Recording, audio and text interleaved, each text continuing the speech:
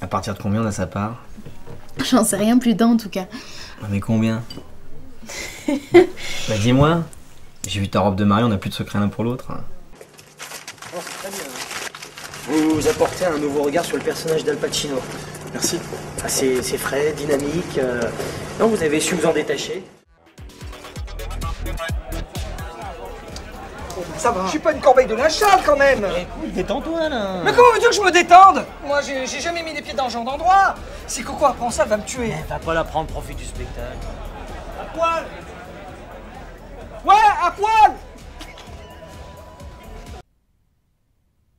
Le tribunal correctionnel de Paris vous condamne à une peine de 6 mois de prison avec sursis, ainsi qu'une amende pénale de 4000 euros. Qu'est-ce que t'as dit, monsieur le juge? Attendez, que les choses soient claires. On ne discute pas la décision du tribunal. J'ai vu du shit? Vous essayez de me corrompre Avec des stupéfiants en plus Très bien. Ce sera un an de prison ferme et 12 000 euros d'amende. Tu es sûr que le moment est bien choisi? De toute façon, il faudra bien lui dire la vérité. Hein. Joyeux anniversaire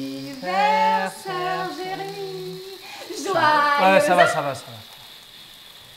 Jérémy, aujourd'hui tu as 18 ans. Joyeux anniversaire, mon chéri Le temps passe vite, tu sais. Mais ta mère et moi avons une nouvelle difficile à t'annoncer. Vas-y, toi chérie, j'arrive pas. Merde, c'est Coco. Eh ben réponds. Bah non, elle m'appelle en visio, elle va voir où je me trouve. Bah, tu sors et tu lui réponds. Mais on a Pigalle, ça va être grillé Je te préviens. C'est toi qui m'as mis dans ce merdier, c'est toi qui vas m'en sortir, ok? Ok, ok, ok. Le 32, très bien. Et puis euh, le 33, mon fiancé. Moi je passe après ton fiancé. Bah non, toi t'es le 32.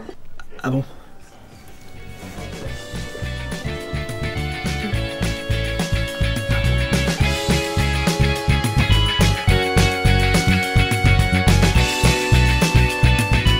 Étonnant, c'est formidable, c'est drôle.